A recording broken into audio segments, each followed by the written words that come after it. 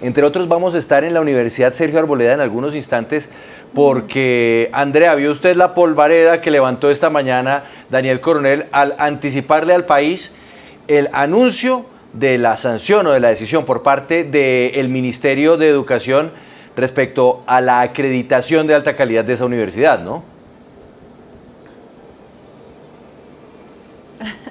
Andrea. Andrea, ¿no la escucho? Ah, es que ah. ¿sabe qué cosa? No, le había escuchado la introducción. Me ha mm. cortado el audio, pero ya ah, puedo escuchar. Pero ¿cómo? Sí, ¿Qué tal muchas, la polvareda? Muchas personas preocupadas. Muchas personas preocupadas porque dicen, bueno, ¿y ahora qué? Yo, yo acabo de inscribir mi, mi semestre, mi maestría, mi pregrado y pues eso sí los afecta a todos. Entonces, pues sí es preocupante, es preocupante esa noticia que reveló hoy Daniel Coronel. Más Paola, por las implicaciones que puede tener esto, sobre todo para los estudiantes que van a salir, eh, por ejemplo, graduándose ahorita o, en los próximos semestres, hasta tanto la universidad no se ponga al día.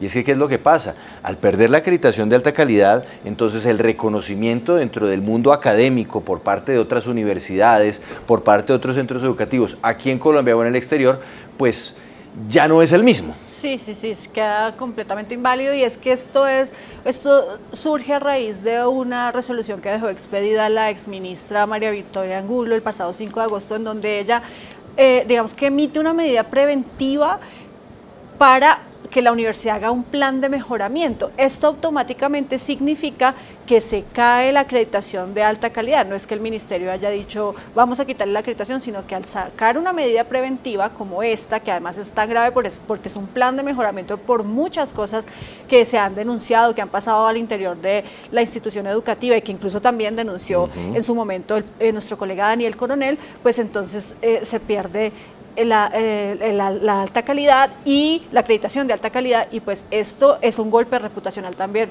muy fuerte para la universidad porque pues no todas las universidades en Colombia ni todas las carreras tienen acreditación de alta calidad, eso no es un problema, el problema es la reputación porque perderlo nunca había pasado, es un hecho atípico en Colombia. Correcto, y, sobre todo porque empiezan ya a, a escucharse voces, entonces, ¿qué va a pasar con el rector? ¿Qué va a pasar con el consejo directivo? ¿Qué va a pasar con los estudiantes? ¿Existe la posibilidad de que algunas carreras o algunos registros que tiene ya la universidad eh, de programas educativos puedan perderse?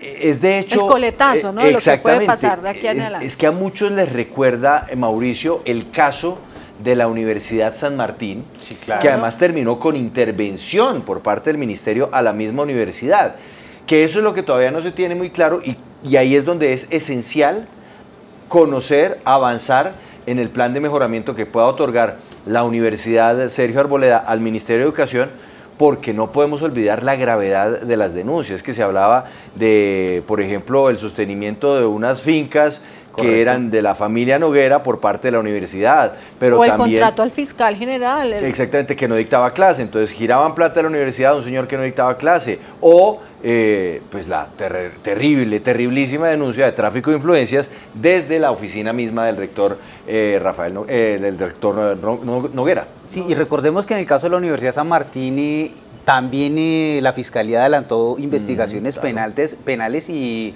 vinculó a algunos de los directivos de esta universidad a estos procesos y bueno, terminaron finalmente en condenas por el desvío de algunos recursos. Esto afectó a toda la comunidad universitaria. Las carreras que allí se dictaban en ese entonces, eh, los estudiantes por lo menos resultaron eh, afectados y eh, lo mismo podría Pero, pasar. Uy, Mauricio, pues. probabilidades de que la fiscalía investigue a, ah. Sergio Arboleda ah. si el fiscal es contratista.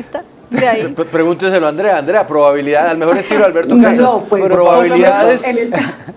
En esta, administración, pues no, pero igual, eh, por más que sea amigo, pues él también viene lo mismo, se tendría que declarar abiertamente impedido y yo creo que aquí el trabajo de los estudiantes, por ejemplo, puede ser muy importante porque si todos, imagínese usted, honradamente usted haciendo todo el esfuerzo, pidiendo créditos para el ICETEX, sus ahorros de toda la vida para poder sacar adelante una carrera, un, estudio y que después le digan esto, entonces tienen que pedirle cuentas muy exigentemente a quienes se metieron en esto, porque los estudiantes, pues, qué pecado, nada tienen que ver con, con esta situación terrible, qué angustia. Así es. Así es. Entonces vamos, vamos a ir en instantes, nos vamos a ir en instantes a la Universidad Sergio Arboleda de la mano de Juliana Loaiza, que está además ahí esperando un pronunciamiento clave, porque esta mañana pues hubo comunicado de la Sergio Arboleda.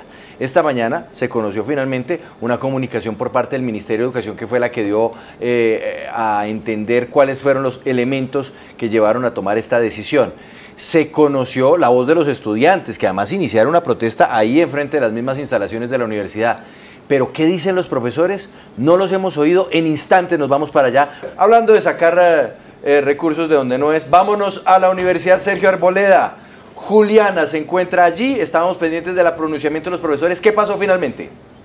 Juan Pablo, así es, pues nosotros seguimos aquí en la Sergio Arboleda. En este momento estoy dentro de la institución, dentro de las instalaciones de la universidad. Los jóvenes continúan sus protestas en la calle 74, eh, ahí en la carrera 15.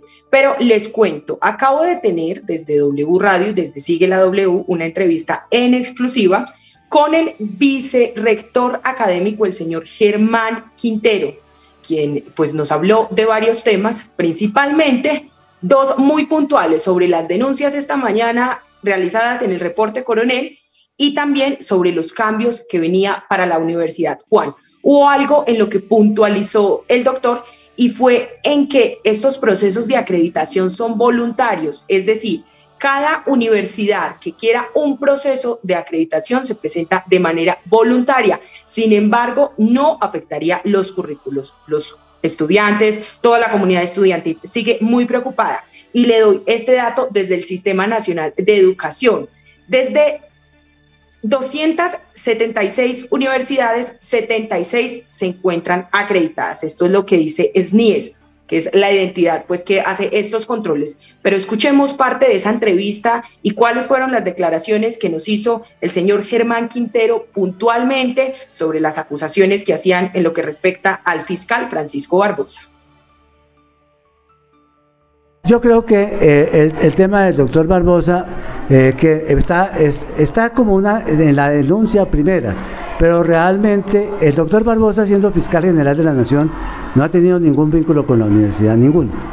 Y cuando estuvo de consejero, eh, estuvo alguna vinculación con nosotros porque dictó conferencias, trabajó en alguna investigación y dictó algunas clases. No era un profesor de planta, como lo quieren entender pero además su vasta experiencia, tanto especial en el derecho y particularmente en el derecho, eh, eh, en el derecho penal, y en temas inclusive económicos nos hace que a nuestros egresados, a veces abusando de su tiempo, los usemos para que enriquecer a, nuestro, a nuestros estudiantes. Pero es eso y nada más que eso. No, en esta, en esta resolución eh, de que estamos tratando de medidas preventivas, nada tienen que ver con eso. Él puntualizó en que la reunión llevada a cabo esta mañana con los delegados eh, del Ministerio de Educación ya era una reunión programada, que no había sido pues por este tema coyuntural, pero también le preguntamos qué cambios se vienen en cuanto a términos administrativos dentro de la Universidad Sergio Arboleda. Durante este estadio, este periodo, eh, esta acreditación ha perdido eh, eficacia hasta que no se superen las condiciones que supuestamente soportan este tema.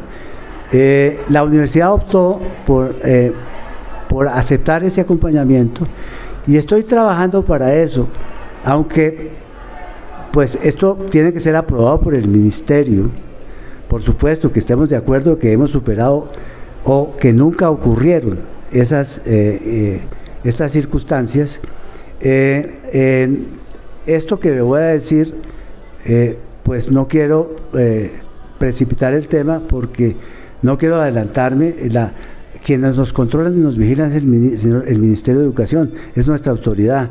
Y no quiero debatir aquí al aire algo que eventualmente tengo que, eh, estoy, estoy trabajando con ellos de acompañamiento.